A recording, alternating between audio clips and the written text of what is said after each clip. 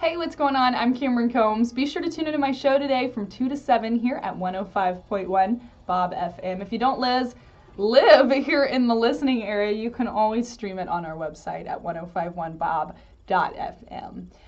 I have been busy all morning. I've been at the Ozark Farm Fest at the Ozark Empire Fairgrounds. We're going to be there all weekend. Mm-hmm. You can stop by our tent and register to win a family four pack to the Ozark Bull Bash that's going on next weekend and a $100 gift card to Cowboy Corral. That's at Farm Fest this weekend. I have lots of good stuff to talk about today. A feel good story that's going to warm your heart. A couple who has been trying to have kids for 17 years which you would think after 17 years, even you, even the strongest willed person would give up.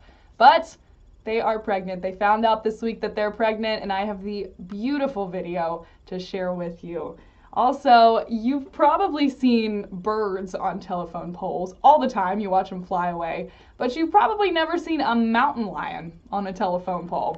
Well, I have the picture to prove it. We're going to talk about that today. And in Kansas City, we might be losing Henry the Hippo here in the Springfield Dickerson Park Zoo, but Kansas City is gaining a very big animal. We're going to talk about that. That's all this afternoon. Of course, you have a chance to win Hotel of Terror tickets. I believe it's the last day to win those today. So stay tuned for that. And you have two chances to win some Ozark Bull Bash tickets. You got to be listening for that bucking bull sound. That's all this afternoon from 2 to 7 here at 105.1 Bob FM.